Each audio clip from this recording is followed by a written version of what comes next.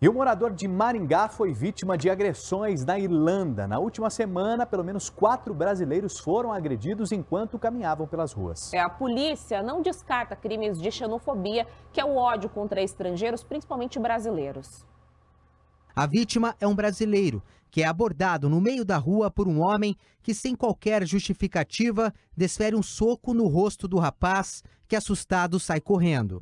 O caso aconteceu na cidade de Limerick, sul da Irlanda, a cerca de 200 quilômetros da capital Dublin. E não foi o único. Somente na semana passada, pelo menos quatro brasileiros procuraram a delegacia denunciando este mesmo crime. Foram agredidos enquanto caminhavam pelas ruas da cidade.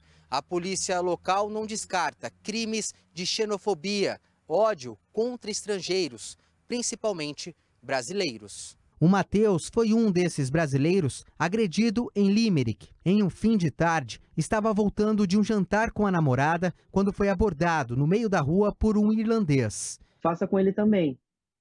Foi quando eu, eu entendi a situação e me coloquei numa situação de risco e comecei a andar um pouco mais rápido.